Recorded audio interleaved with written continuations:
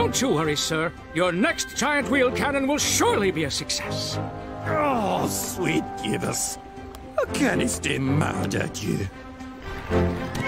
I, uh, I'm sorry for the bad date, but you're really cool. And even if you hate me, I don't want to have to be your mortal enemy. And. What? No, we are not enemies. I just do not wish to date an Earth male.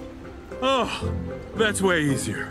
But you would be a formidable ally on the battlefield. Yeah! I'm fascinated by your Earth fighting techniques. So great.